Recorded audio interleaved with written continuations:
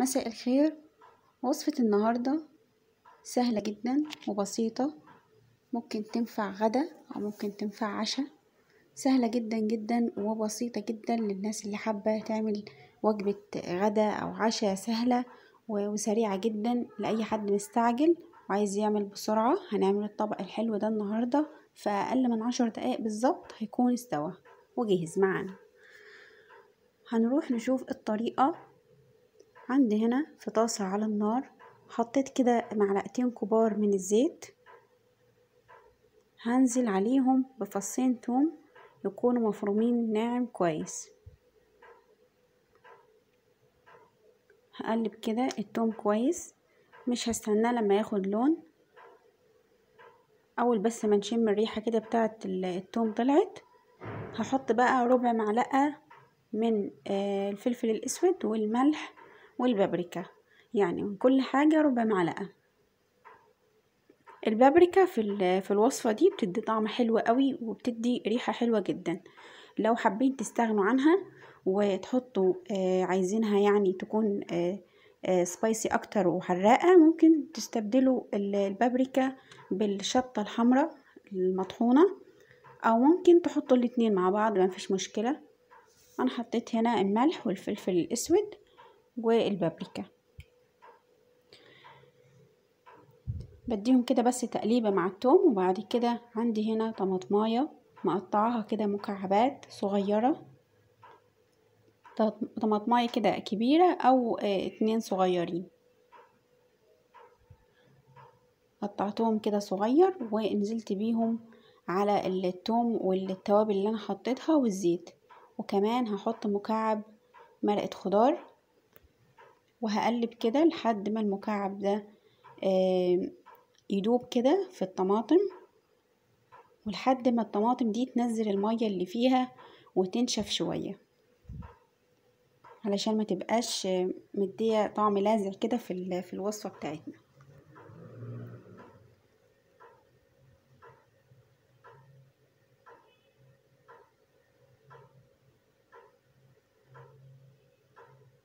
قلبت كده كل حاجة مع بعضها.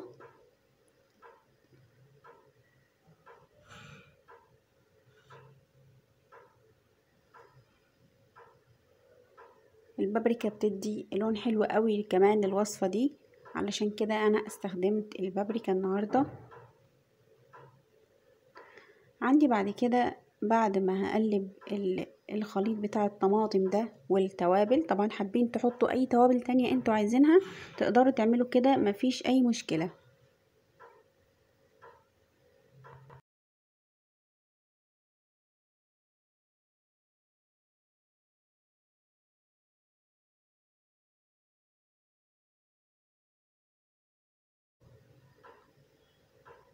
أنا بعد ما اتأكدت إن الطماطم خلاص آه نشفت شوية بعد كده نزلت هنا بجزر متقطع آه قطع صغيرة كده ممكن آه تحطوا آه بطاطس ممكن تحطوا أي حاجة أو كوسة مثلا. كل حاجة أنتوا عايزين تحطوها تحطوها عادي هتبقى حلوة. بس أنا جربتها بالجزر كانت حلوة جدا والجزر مدي نكهة آه حلوة جدا جدا هتعجبكم إن شاء الله لما تجربوها. هنا طبعا الجزر ده أنا مقطعاه كده مكعبات طبعا برضو حطوا الكمية برضو اللي أنتوا آه على قد اللي أنتوا هتعملوه يعني على قد المكرونة اللي أنتوا هتعملوها. أنا هنا استخدمت حوالي جزرتين متوسطين يعني مش كبار. وعلشان الجزر ده أنا يعني مقطعاه لسه مش مستوي فهحط كده حوالي كوباية مية كبيرة. وهسيب الجزر ده كده لحد ما يغلي.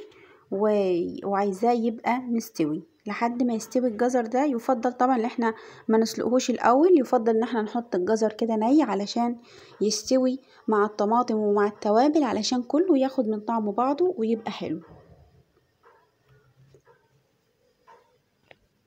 لو حسيتوا إنه الجزر لسه ما استواش مفيش مشكلة إن إنتوا آه تحطوا آه مية تاني. شوية بشوية لحد ما تتأكدوا إن الجزر استوى بس ما تخلوهوش يبقى مهري آه بزيادة كده علشان يبقى حلو.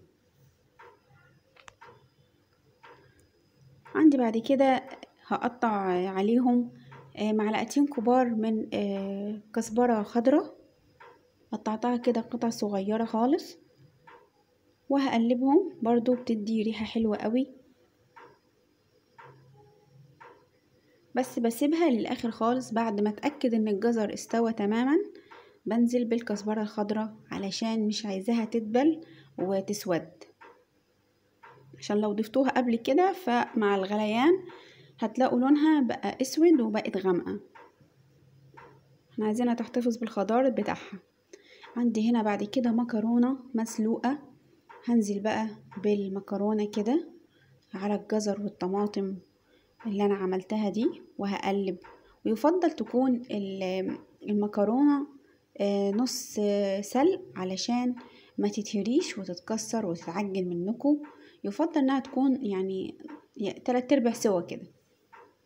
مفيش مشكلة لو هي مستوية للآخر يعني بس هتاخد تقليبتين كده وخلاص. لكن لو هي آه لسه ما استوتش كويس فاحنا كده هنديها فرصة انها آه تاخد اللون بتاع التوابل اللي إحنا حطيناها دي تاخد اللون بتاع الجزر والطماطم علشان برضو هتستوي فيهم كده يعني حوالي خمس دقايق تاني على نار هادية. نفضل نقلب كده شوية على نار هادية لحد ما تشرب الصوص اللي هو فيها ده. ونحس كده انه المكرونة بقى لونها كده محمر شوية يعني علشان تبقى أخدت من الصوص بتاع الوصفة دي وتبقى حلوة وطعمها كل واحد ما تبقاش المكرونة لوحدها والجزر طعم لوحده. يبقى كله كده طعم واحد كده وكله كده شارب من بعضه وحلو. المكرونة طبعا زي ما قلت لكم آه المكرونة دي مسلوقة بس أنا في السلق بتاعها حطيت ملح خفيف علشان كده أنا حطيت ربع معلقة ملح آه مع الزيت والثوم في الأول في أول الوصفة. لكن أنتوا لو المكرونة بتاعتكم سلقينها بملح ملحها مظبوط ممكن آه تستغنوا عن الملح نهائي في الوصفة دي وتكتفوا بس بمكعب مرقة الخضار. يعني أنتوا ظبطوا الملح براحتكم كده الوصفة بتاعتنا خلصت. سهلة جدا جدا وبسيطة يمكن بتاخد وقت يعني يعني أقل من الوقت بتاع الفيديو. وبكده تكون خلصت الوصفة. أتمنى إنها تكون عجبتكم. لو عجبكم الفيديو ما تنسوش تعملوا like و share و subscribe للي لسه ما اشتركش في القناة علشان توصل لكم كل الوصفات الجديدة اللي أنا هنزلها. وأشوفكم في وصفة تانية جديدة إن شاء الله قريب.